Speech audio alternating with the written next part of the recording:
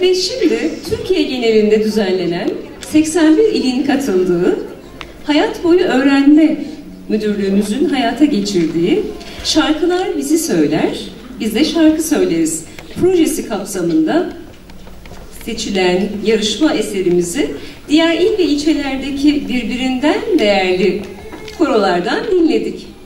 Bir de bizden dinleyin istedik. Hasretle yanan kalbime yetmez gibi derdim. Bir ömrü senin uğruna rüya gibi verdim. Bu kıymetli eserimizi değerli koristimiz Turgay Tiron seslendiriyor. Sahneye davet ediyoruz.